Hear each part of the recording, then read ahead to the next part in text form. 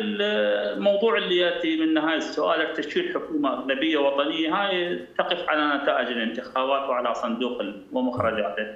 كان يعني من الصعب اليوم أن نتكهن السيد ماضي بتشكيل حكومته ربما يتحالف مع قوى الإطار التنسيقي وربما يرى ويحصل عدد كبير من الأصوات ويختلف كما الائتلاف الثلاثي أو الاتحاد الثلاثي في المرحلة السابقة أن يعيد. لكن استبعد أن يكون إعادة الاتحاد الثلاثي.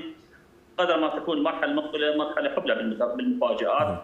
لا يمكن أن نتكهن اليوم سقوط إطار على حساب تيار أو تيار يصعد على يصعد على حساب الإطار بقدر ما تكون هناك البرامج الانتخابية والبرامج السياسية.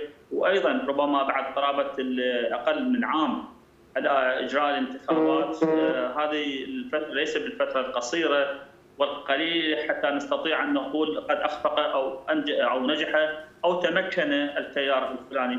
مثل ما معروف تيار تيار صدر تيار مع جماهيره معروفة وقاعدة قاعدته الجماهيرية أيضا. واضحه طيب. لا يمكن أن تتداخل مع كل الساحات الموجودة على مستوى كل أشكال الطريق طيب. العراقي لأن هم يذهبون بأتباع وباتجاه السيد الصدر.